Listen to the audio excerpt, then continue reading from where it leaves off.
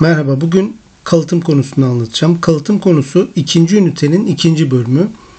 Bu dersimizde kalıtımla ilgili temel kavramlardan bahsedeceğiz. Mendel'den bahsedeceğiz, çaprazlamalardan bahsedeceğiz.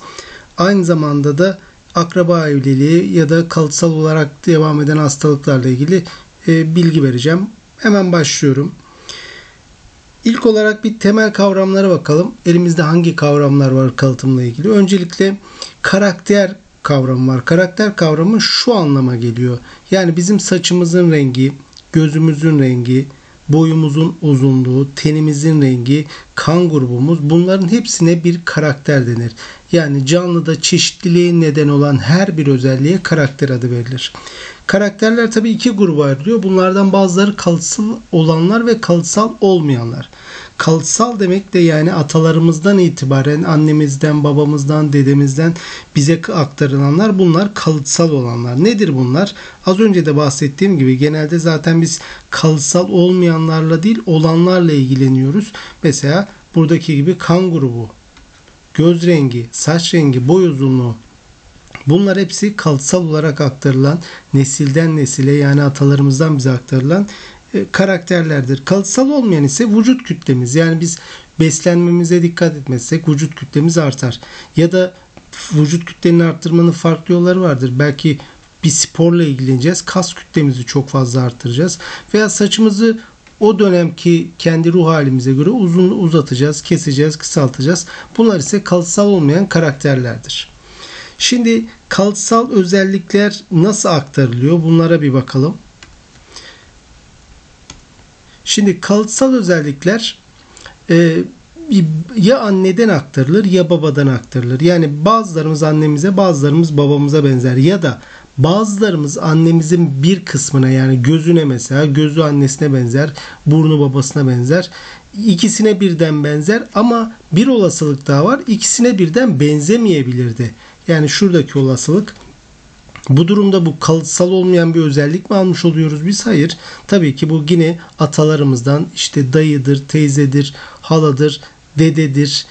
Bu tarz atalarımızdan aldığımız karakterleri devam ettiriyoruz. Tabii bunların hangisinin öne çıkıp hangisinin öne çıkmayacağı baskınlık ve çekiniklikle alakalıdır.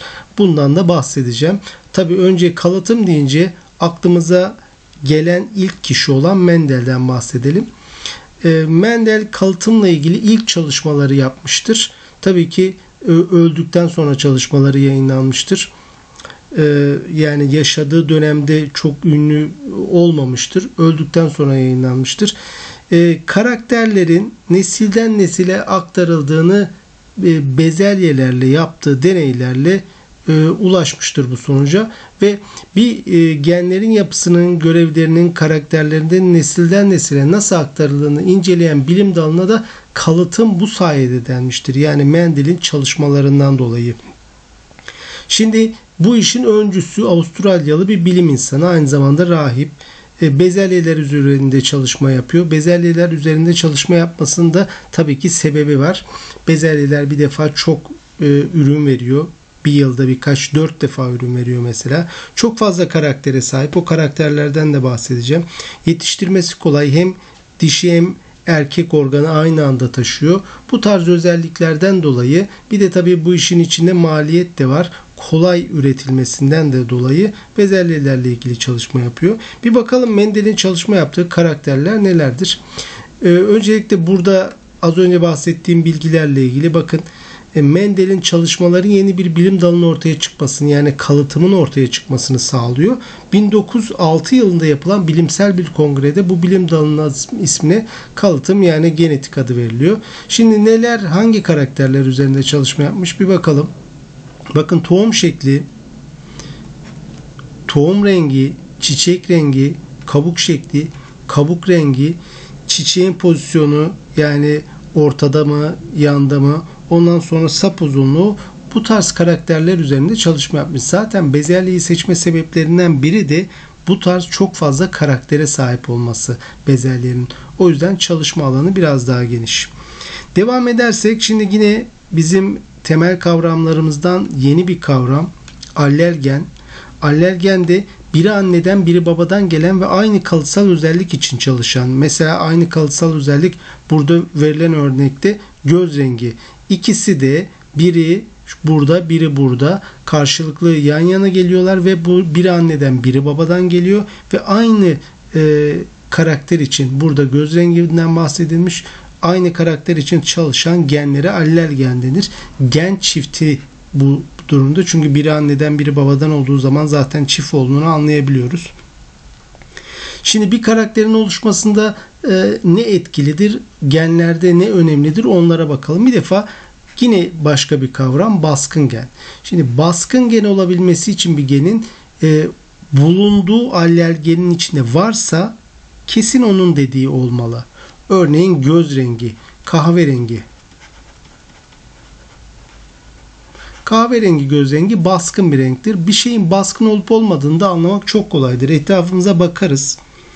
Mesela sınıfınıza bakarsınız. Kahverengi gözler çok mu? O zaman baskındır. Mavi ya da yeşil gözlüler yeşil mesela. Yeşil gözlüler az mı? O çekiniktir. Mavi gözlü az mı? Çekiniktir. Bunlar ya da düz saç azdır çekinik. İnsanların genelde saçları hep dalgalı ya da kıvırcık olur. Dümdüz saç, düz saçtan kastım e, dümdüz saç. Yani e, öyle sadece tarandığı zaman düz olan bir saç değil. O saç tipi mesela çekiniktir. Çok fazla bulunmaz. Şimdi eğer kahverengi göz rengine sahip biri allelin içinde bunu temsil eden bir gen varsa örneğin büyük K harfi karşı tarafta ne olduğuna bakmaz. Küçük de olsa büyük de olsa yine de kendi dediğini yapar. Yani şurada verdiğim bilgi bir karakterin oluşumunda etkisini her zaman gösteren allele baskın gen adı verilir. Baskın gen o yüzden ne derse o olur. Zaten normal hayatta baskın ve biraz daha çekinik anlamda kullandığımız günlük hayatta da kullandığımız kelimeler bunlar. O yüzden aynı anlama geliyor. E, ikinci bilgiye baktığımız zaman baskın genle birlikte olduğunda dış görünüşte etkisini göstermeyen alergen çekinik yani baskının karşısında söz sahibi olmayan şurada yaptığımız gibi baskın olan kahverengi büyük harfle gösterdim. Çekinik olan küçük baskının yanında ama sözü geçmiyor. O yüzden kahverengi gözlü bir birey oluyor. Nerede anlıyoruz bunu? Dış görünüşte. Birazdan ondan da bahsedeceğim. Dış görünüş ve gen dizilimi bunlar da yine temel kavramların içinde olan bilgilerdir. Şimdi çekinik bir karakter nasıl ortaya çıkacak o zaman? Yanına yine küçük bir e, harf gelecek. Yani yine kendiyle aynı özellikte sahip bir e, gen geldiği zaman o zaman çekinikken fenotipte yani biraz da, da bahsedeceğim dış görünüşte kendini temsil edebilir. Devam edelim. Evet dış görünüş ve gen yapısına bakalım. Yani fenotip ve genotip.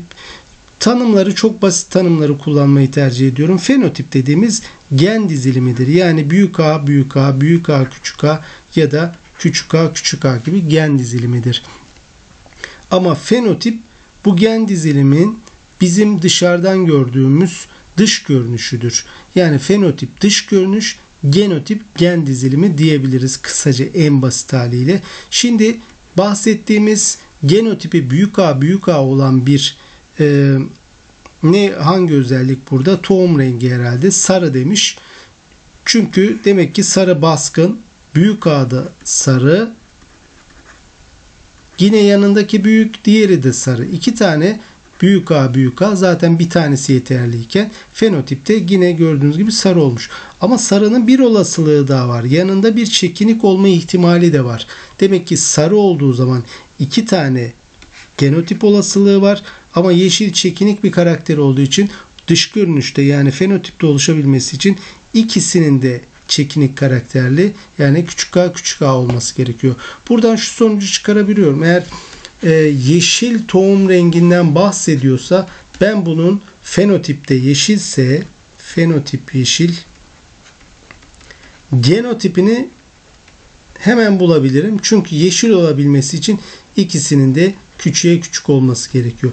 Ama fenotipte sarıysa örneğin soruda böyle geçtiği zaman o zaman genotipini tahmin edemem. Çünkü iki olasılık vardır. Biri büyük A büyük A, diğeri büyük A küçük A'dır.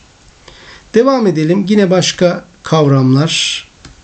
Melez ve saf döl ne anlama geliyor? Baktığımız zaman saf sadece kendi içinde bulunuyorsa yani dışarıdan bir şey karışmamışsa o yüzden de yan taraftaki şekilde baktığım zaman iki tane büyük A saf, iki tane küçük A saf, iki tane büyük S, iki tane büyük B yani ikisi de aynıysa bu saftır. Ama yanında büyüklü küçüklüyse buna melez denir. Dikkat edersek şöyle bir yazılım yok. Bir tane büyük A yanında küçük B. Hayır yani A ile başlamışsan büyük A ise yanında küçük A olacak ya da büyük A ise yanında büyük A olacak. Yani A, B ya da S'nin yanına mesela K gibi bir harf koymamız mümkün değil. O yüzden bu tip bir yazılış yok. Şimdi bir karakterin oluşması sağlayan genler birbirinin aynısı olabilir. İşte birbirinin aynısı olduğu zaman bu saf döl oluyor. Bu durumda genotipi saf döl olur. Saf döl aynı zamanda homozigottur. Homozigot. Melez döl ise aynı zamanda heterozigot. Aynı zamanda meleze heterozigota hibrit de denebilir. Hibrit. 3 tane isim kullanabiliriz. Saf dölü homozigot diyeceğiz. Meleze heterozigot diyeceğiz. Ama meleze aynı zamanda hibrit de diyebiliriz. Şimdi baktığımız zaman saf dölü gösterirken ya ikisi büyük ya ikisi küçük oldu genotipte. Bu şekilde göstermemiz gerekiyor. Ama bir karakterin oluşması sağlayan genlerden biri baskın, diğeri çekinikse yani burada olduğu gibi bir baskın, bir çekinikse o zaman bu melezdir ya da heterozigottur. Bu durumda ama genotipi bu şekilde ama sonuç olarak fenotipi fenotipi burada gördüğümüz büyük harf neyi temsil ediyorsa odur. Şimdi bunlar rastgele yazıldığı için neyi temsil ettiği belirlenmemiş. Ama O dediği için biz boy uzunluğu diyelim. O zaman fenotipte uzun boylu olur. Uzun boy. Yani o zaman bakarsak e, baskın saf, çekinik saf karakterleri de ortaya çıkıyor.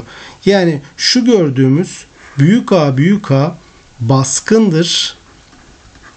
Çünkü ikisi de büyüktür hem de saftır.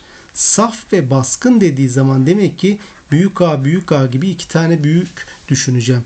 Burada ise bu da saftır. Saf ama çekiniktir. Yani bana çekinik ve saf derse ikisinin küçük harf olduğunu bileceğim. Bunlar zaten sorunun içinde küçük küçük ipuçları olarak daha doğrusu bunları bilin diye, bunları kullanın diye bu şekilde verilir. Sizin bunu tahmin etmeniz gerekiyor. Ama heterozigotta baskın heterozigot ya da çekinik heterozigot gibi bir cümle kullanamayız. Çünkü ikisi de içindedir. Bu sadece saf döller için kullanılan bir terimdir. O yüzden bu da aklımızda bulunsun. Devam edersek yine bu derste öğreneceğimiz önemli konulardan biri çaprazlamadır tek karakter üzerinden çaprazlama derken örneğin boy uzunluğu az önce dedim. Boy uzunluğu kısa ve uzun boyu olarak çaprazlama ya da göz rengi olarak çaprazlamadan bahsediliyor. Tek karakterden bahsettiğimiz budur. Yani hem gözü mavi hem boyu kısa olsun diye bir çaprazlama tabii ki yapılabiliyor ama bu sizin e, seviyenizde yani ortaokul seviyesinde yapılan bir şey değildir. Şimdi bakalım Diyor ki eşeyli üreyen canlılarda erkek dişi üreme hücrelerinin birleşerek yavru bireyler elde edilmesine çaprazlama denir. Yani hangi olasılıklar ortaya çıkacak onu göstermek için aslında yapılıyor. Çaprazlamadan çıkarılacak sonuçlar şöyle açıklanabilir. Örneğin bakın homozigot ve sarı. Yani ikisi aynı ve sarı baskın olduğu için büyük A. Homozigot ikisi aynı ve yeşil. Yeşil olduğu için homozigot demeseydim de zaten homozigot olduğunu anlayacaktım. Çünkü yeşil çekinik olduğu için. Çaprazlamanın kuralı şudur. Büyük A büyük A ile çaprazlama küçük A küçük A yapıyorsun. Bakın şunun altını çiziyorum. Bunu alıyorum. Buraya yazıyorum. Büyük olduğu için başa büyük yazılır zaten. Karşı tarafın birinci sırasındakini bu yanına getiriyorum. Burada işim bitmedi. Çünkü bir tane ile daha eşleştireceğim. Bu büyük A'yı yine alıyorum. Karşı tarafta eşleştirmediğim diğer kalanı buraya getiriyorum küçük a. Şimdi aynı işlemi burada yapıyorum. Büyük a'yı alıyorum. Şöyle uzağa koyacağım. Büyük a. Karşı tarafta bu sefer şöyle çiziyorum. Karşı tarafta küçük a'yı yanına getirdim. Yine büyük a'yı getirdim. Bu sefer eşleştirmediğim diğerini yanına getirdim. Bu şekilde büyük a küçük a şeklinde eşleştirdim. Baktığım zaman hepsinde büyük a küçük a oldu. Yani melez heterozigot bir görüntü oldu. Zaten oluşan karakterde %100 e, heterozigot olur. Bunların her birinin olasılığı 4 parça olduğu için %25'tir. Her biri %25. Bu şekilde olasılıklara baktığımız zaman topladığımız zaman hepsini hepsi aynı olduğu için %100 heterozigot e, fenotipinde de tabii ki sarı olması gerekiyor. Bunu buradan çıkarabiliyoruz. Şimdi demek ki ben iki tane saf tölü çaprazladığım zaman farklı özellikte olan ama aynı karakter için oluşacak bunların melezidir ve yüzde yüzdür. Fenotip olarak da baskın karakter ortaya çıkar. Şimdi bu işlemi melez iki tane e, dölü çaprazlayarak yaparsam ne çıkar? Buna bakarsak bakın melez büyük A küçük A, melez büyük A küçük A. Aynı mantıkta önce birinciyi diğerinin birincisiyle tekrar birinciyi diğerinin ikincisiyle sonra ikinciyi diğerinin birincisiyle sonra tekrar ikinciyi diğerinin ikincisiyle çaprazladım. Sadece düzelttim. Büyüğü öne yazarak düzelttim. Bakın ikisi aynı. Bunlar %25, %25, %50 eder. %50 heterozigot. Burada %25 saf baskın. Burada %25 saf çekinik oluştu. Baktığım zaman bunlar e, fenotip ve genotip olarak oranları vardır. Örneğin fenotip olarak oranı baktığımızda 3 tanesi sarı oluyor. Büyük A, büyük A, büyük A, küçük A. Bunların 3 tanesi sarı oluyor. İşte bu sarı, bu sarı, bu sarı. Bir tanesi de yeşil oluyor. 3'e bir fenotiptir. Ama şeye bakarsak genotip oranlarını 1, 2, 1 şeklindedir oranları. O yüzden fenotip ve genotip oranları farklıdır. Bu da genotip oranlarıdır. 2 tane büyük A küçük A, bir tane büyük A büyük A, bir tane de küçük A küçük A var. Devam edersek bir de cinsiyetle ilgilenelim. Eşey kromozomları ile. Eşey derken dediğim gibi cinsiyeti kastediyor. Bizim kromozomlarımız daha önceki derslerden 46 olduğunu söylemiştik insanda. Bunlar 44 artı XX veya 44 artı XY şeklindeydi. Baktığımız zaman şu gördüğümüz 44, 45 ve 46 yani XY olduğu zaman erkek oluyor. XX olduğu zaman da yani 44 artı XX olduğu zaman da dişi oluyor. Şimdi bunları niye böyle ayırmışlar? Çünkü 44 olanlar vücut kromozomları. Bu XY ve XX olanlar da eşey kromozom, eşey kromozomları. Yani bizim bahsettiğimiz eğer X ve X ise eşey kromozomları dişi, X ve Y ise bu da erkeği temsil ediyor. Bunu bilmemiz gerekiyor. Bunları da çaprazladığımız zaman örneğin e, daima %50 çıkar. Her çocuğun e, erkek mi kız mı olacak yeni doğan bir çocuk çaprazlaması yaparsak bakın birinciyi aldım. X. Buradaki birinciyi aldım. Yanına koydum X. Birinciyi bitmediği işim X. Buradaki Y'yi aldım. Y. İkinciye geçiyorum. Şuraya kaydıracağım. Birinciyi aldım X. Diğerinin birincisinin üstünü şöyle işaretliyorum. X. İkinciyi aldım. X. Buranın ikincisini aldım. Y. Bakın XY, XY, XX, XX. 25, 25, %50 dişi, %50 erkek. Bu aynen bir metal parayı havaya attığımızda yazı tura gelme olasılığıyla aynı olasılıktır. Daima böyledir. Mesela bazen tuzak sorular diyor ki 10 tane kız çocuğu olan biri 11. çocuğunun kız olma olasılığı ne kadardır? Tabii ki yine %50'dir. Yani %50 1 bölü 2'dir. Yani 15 tane de olsa kız ardarda arda 16. yine %50 bir olasılıkla kız olur. %50 olasılıkla erkek olur. Bu şekilde hesaplanır bunlar. Devam edelim. Bir de az önceki yaptığımın normalini görelim. Yani daha düzenlisini. Bakın evet anne baba x'ye baba çaprazladığımız zaman %50'ye %50 e, dişi ve erkek olma olasılığı vardır. Tekrar aynı şeyi o yüzden bahsetmeyeceğim. Devam ediyorum. Son olarak konumuz akraba evliliği var en son olarak. Akraba evliliğinde şöyle bir mantığı var. Şimdi bizim gen dizilimimiz ailemize, e, akrabalarımıza benzer. Tabii ki çekirdek ailemize gen dizilimimiz daha çok benzer. Babalık testi vesaire o yüzden yapılır. E, öyle anlaşılır daha doğrusu. Akraba evliliği yaptığımız zaman bizim vücut kromozomumuzda bulan bir hastalık, çekiniktir hastalıklar genelde akrabamızda da bulunma olasılığı yüksektir. Neden? Gen dizilimlerimiz birbirine benziyor.